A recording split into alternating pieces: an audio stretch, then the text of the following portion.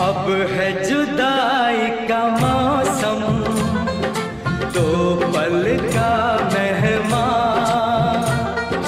कैसे ना जाएगा अंधेरा, क्यों न थमेगा तूफ़ान।